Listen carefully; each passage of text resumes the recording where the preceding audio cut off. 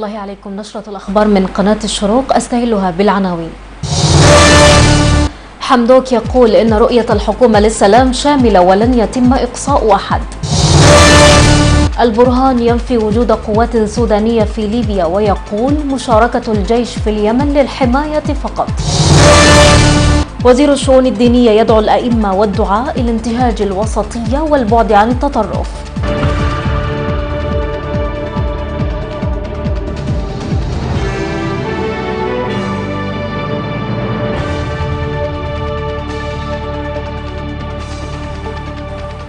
قال رئيس الوزراء عبد الله حمدوك إن إيقاف الحرب من أحد أكبر التحديات التي ظل السودان يواجهها على مر العقود. وأكد أن رؤية الحكومة الانتقالية للسلام هي رؤية شاملة لن يتم فيها إقصاء لأحد. وقال حمدوك في تغريدة على حسابه الرسمي بتويتر امس الجمعة سنسعى جاهدين لإدارة التنوع الذي تتمتع به بلادنا بصورة تمكننا من العبور بالبلاد لبر الأمان وأضاف انطلاقا من إدراكنا بأن الإدارات الأهلية تعد من أهم مكونات المجتمع ودورها المهم الذي تسهم به في تحقيق السلام والاستقرار. سوف نحرص في الحكومة الانتقالية على استصحاب رؤية الإدارات الأهلية للسلام في مفاوضات جوبا. نفى رئيس مجلس السيادة عبد الفتاح البرهان إرسال جنود سودانيين للقتال مع اللواء المتقاعد خليفة حفتر أو أي طرف آخر في ليبيا. كما أكد أن قوات بلاده موجودة في اليمن بطلب من الحكومة الشرعية ولا تقوم هناك بأي مهام قتالية. وقال البرهان خلال حديثه لقناة الجزيرة إن الحديث عن إرسال قوات سودانية إلى ليبيا غير صحيح ولم نرسل أي فرد للقتال في ليبيا. كما لم يطلب منا أحد أو دولة إرسال جنود إلى هناك. ولسنا طرفا في النزاع الليبي. على صعيد آخر قال البرهان إن السودان تحدث مع الجانب الأمريكي بشأن رفع اسمه من قوائم الدول الراعية للإرهاب وهم يقولون إن لديهم قوانين وإجراءات حتى يتم ذلك. واعتبر أن عدم رفع اسم بلاده من قائمة الإرهاب رغم التغيير الحاصل بالبلاد أصاب الشعب السوداني بالإحباط مشددا على أن الأسباب التي أدت إلى فرض العقوبات على بلاده ووضعته في قائمة الإرهاب انتفت. أكدت وزيرة الدولة بالخارجية الإثيوبية هيرات زمنة على متانة العلاقات وتطورها بين دولتي السودان وإثيوبيا ورحبت خلال استقبالها وفد الدبلوماسية الشعبية من مجلس الصداقة الشعبية العالمية الذي يزور إثيوبيا حاليا بزيارة الوفد وقالت إن زيارة رئيس الوزراء عبد الله حمدوك ورئيس مجلس السيادة عبد الفتاح البرهان لأديس أبابا تؤكد على أننا نسير في ذات الطريق لتنمية وتطوير البلدين. وأكدت هيرات على أهمية التحول الاقتصادي الذي يحدث بين السودان وإثيوبيا. من جانبه أكد تاجيسي جافو رئيس البرلمان الإثيوبي على العلاقات المتجذرة مع السودان وأضاف أن كل القارة لها علاقات جيدة مع إثيوبيا في كل المجالات فضلا عن التبادلات التجارية والسياحية المختلفة.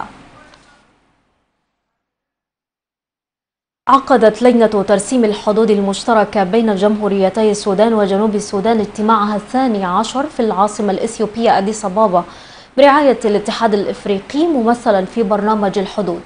ويعد الاجتماع مواصلة لاجتماع الخرطوم الذي عقد في الثالث عشر من أكتوبر الماضي برعاية الاتحاد الإفريقي. حيث عملت لجنة ترسيم المشتركة خلال الاجتماعين على تنفيذ توجيهات مفوضية الحدود المشتركة بإعداد تقرير شامل يشتمل على وصف تفصيلي بالإحداثيات والخرائط والمستندات والوثائق للأجزاء المتفق عليها من الخط الحدودي ووصف للمناطق الخمس المختلف حولها وهي كاكا التجارية ودبة الفخار والمجانس والرابعة وأربعة عشر ميل جنوب بحر العرب وحفرة النحاس حيث يتضمن الوصف وجهة نظر كل طرف.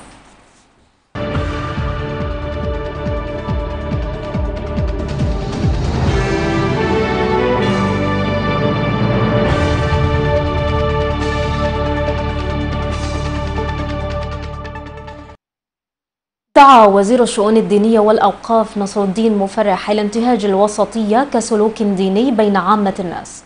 وأشار في خطبة الجمعة بمسجد الخرطوم العتيق إلى أن الوسطية تعطي معاني الاعتدال والتوازن وأكد أن كل من لم ينتهج الاعتدال ويعمل على توحيد أهل القبلة يصبح بعيدا عن الناس وهمومهم.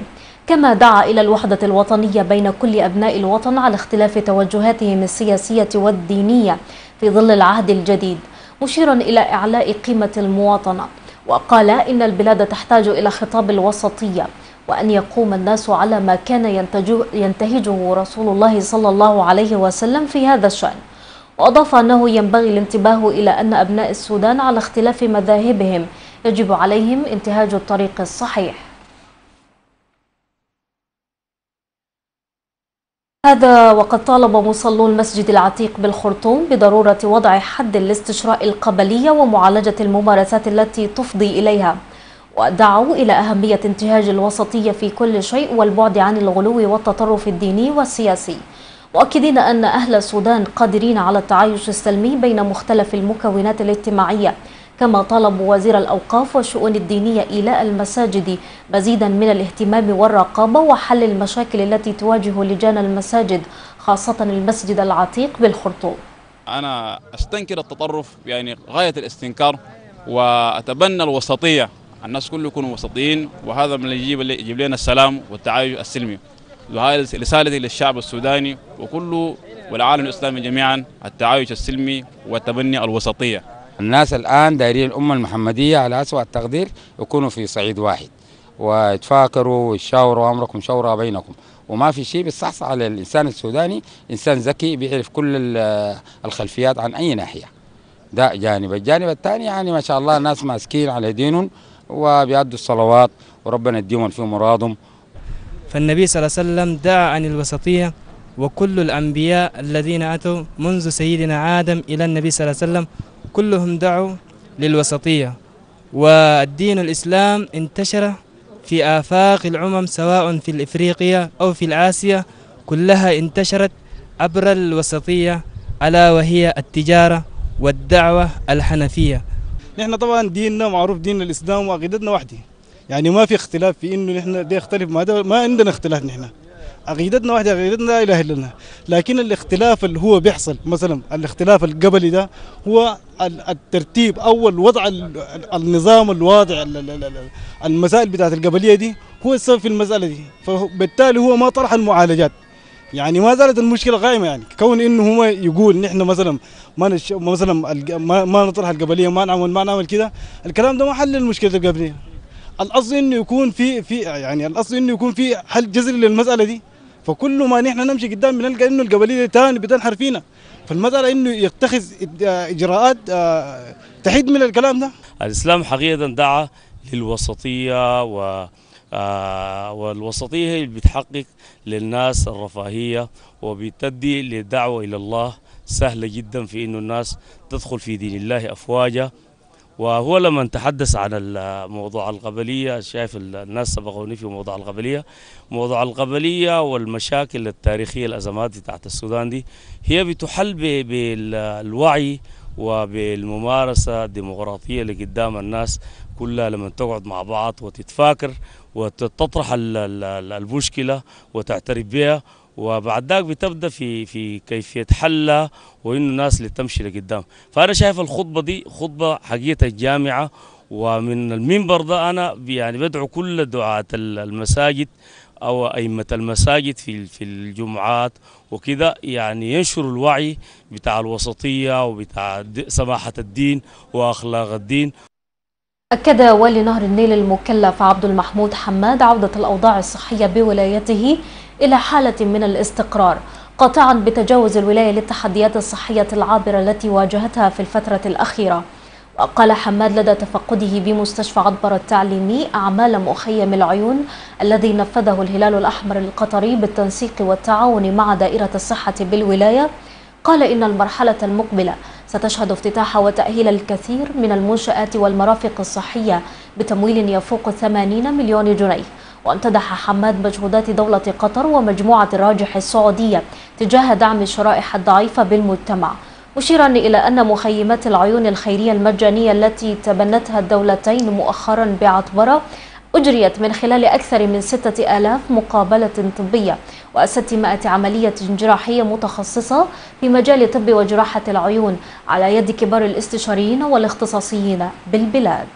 والولاية يعني مستغرة استقرار كامل وخلال الأسبوعين المنصرمين أقمنا أكثر من مخيم للعيون روعيت فيه يعني أو عولجت فيه ما يزيد عن ستة ألف مقابلة وما يزيد عن 600 عملية جراحية. وهنالك عمل ضخم جدا ينتظم وزارة أو دائرة الصحة في الولاية. سوف تكون هنالك افتتاحات لعدد من المنشآت الصحية في كل محليات الولاية السبعة. والناس إن شاء الله يعني يروا بأعين هذا النق هذه النقلة النوعية.